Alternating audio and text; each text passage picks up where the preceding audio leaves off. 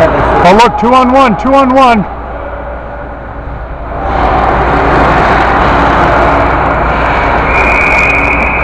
And Karch takes it off the post.